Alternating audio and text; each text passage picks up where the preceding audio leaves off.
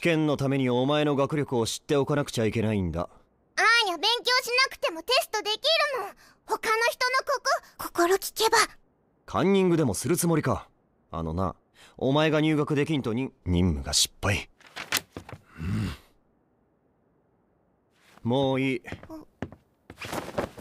出かけてくる。今日は連れて行かないからな。絶対に。留守番してろ